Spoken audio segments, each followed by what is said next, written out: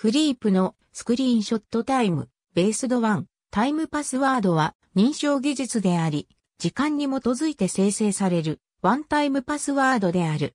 RFC6238 で TOTP、Time-based One-time Password Algorithm として定義されている。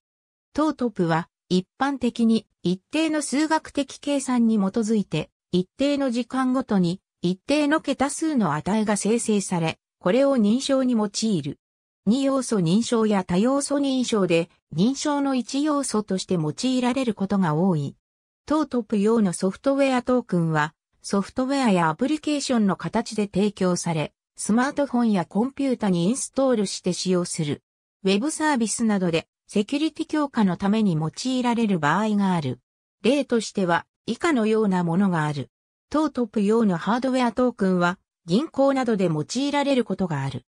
Rydell、Johan、TOTP、Time-based One-time Password Algorithm。tools.ietf.org 2020年8月11日閲覧アンドプ、アンドプ、アンドプ、https コロンスラッシュスラッシュ github.com スラッシュ andotp スラッシュ andotp 2020 年8月11日閲覧。ありがとうございます。